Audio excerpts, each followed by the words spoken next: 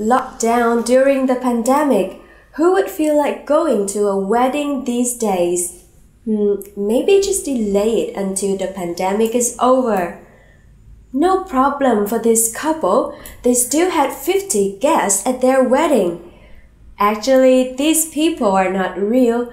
They were cardboard cutouts of their guests, while there were only 14 actual people at the wedding.